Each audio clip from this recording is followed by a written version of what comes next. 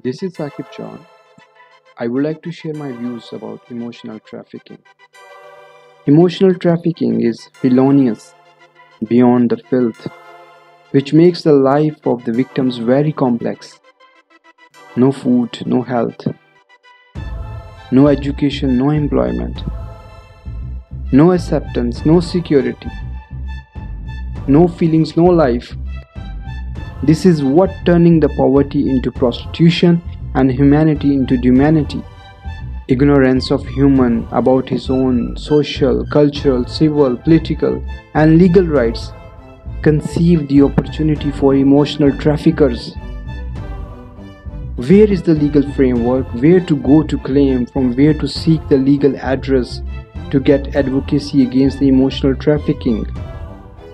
All human, born free, and inherit dignity and equality by virtue.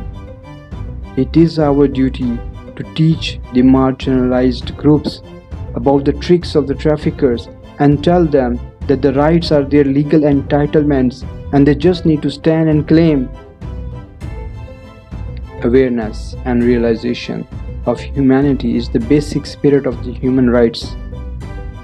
But unfortunately, the reality of the realization is blur and next to nothing.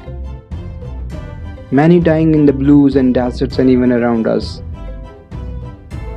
Together, we need to domesticate the international instruments of human transformation to make the emotionally trafficked dummies back to living. Charity is simple, but humanity is very complex.